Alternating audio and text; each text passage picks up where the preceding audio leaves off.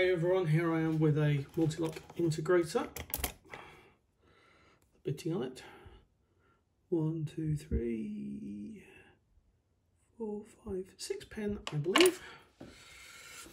And let's have a go at picking it.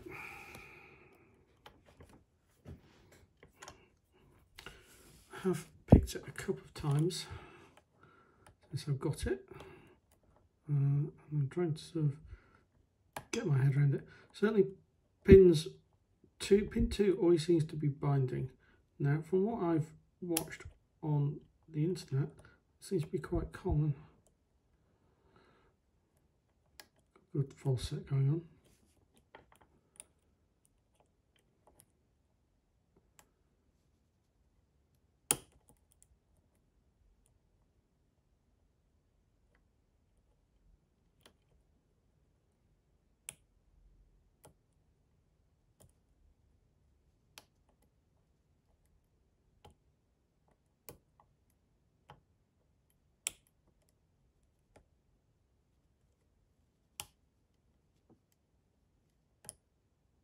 It's binding up. Slipped off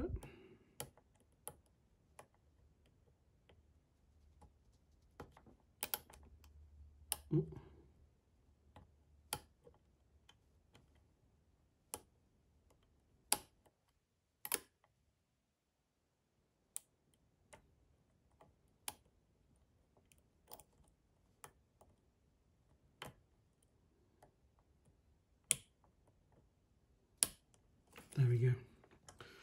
So you've almost got to pick every single pin twice because obviously you've got the pin-in-pin stuff, but